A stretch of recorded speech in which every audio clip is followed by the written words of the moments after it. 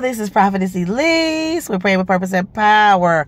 Also, your intel girl from the spirit world. Well, um, this week, of course, you know, God always leads, you know, me to fast once in a while. And I had a desire to fast because I had did one like a long one in a minute because I wanted to make sure there was nothing, you know, hindering, blocking, and, you know, causing issues, right?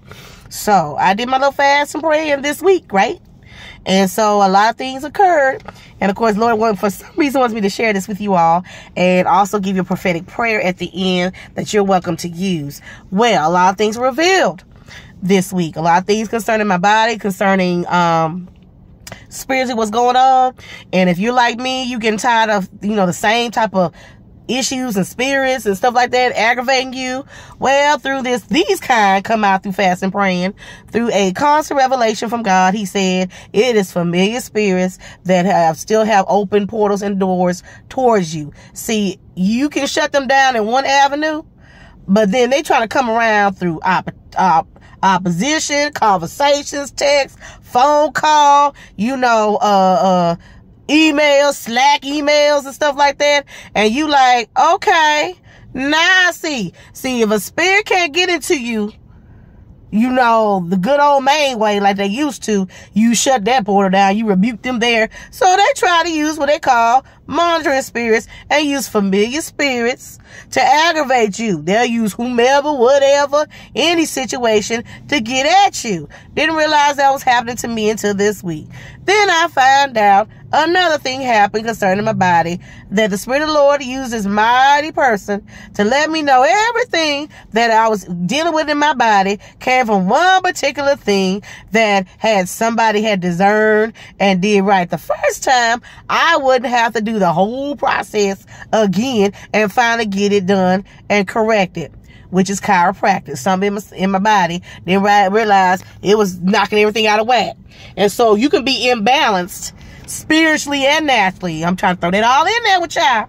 You can be spiritually balanced, but I was naturally imbalanced and then realized all of that was in the center, the core of everything in my body was all balanced.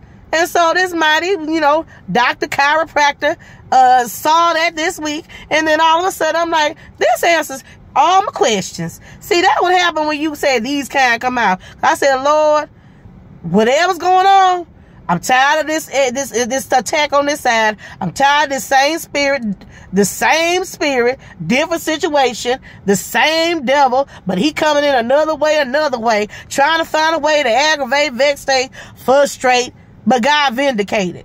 So this is just for anybody who has been dealing with familiar spirits, familiar situations, and you like, Lord, this better stop. This better stop like in this season. I'm done with that. I'm in with that. I'm done. Cause whom the Son set free is free indeed.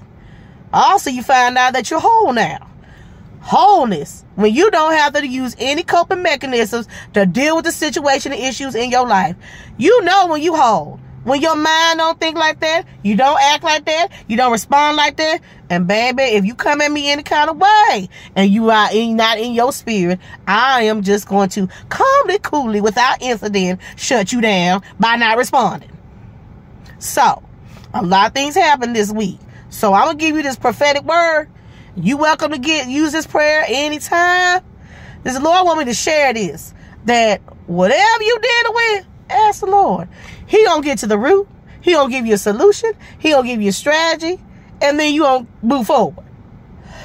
As I continue to pray, I prophesy a cease and desist over every familiar spirit that has been operating in your life, in your situation, in your family, in your homes, in your churches, to be removed and cease and desist. Their operation, their manipulation, in the name of Jesus. And I loose the angels to vindicate and restore everything that these familiar spirits try to do. Close all portals to every monitoring spirit. Bind and close every demonic entryway that is illegal in the spirit. And send them back to their dry places. And we loose the angels to bring provisions, resources, renewal, rejuvenation, regeneration, and restoration in your life, my life. In Jesus' name we pray. Amen. Hope this was a blessing to you.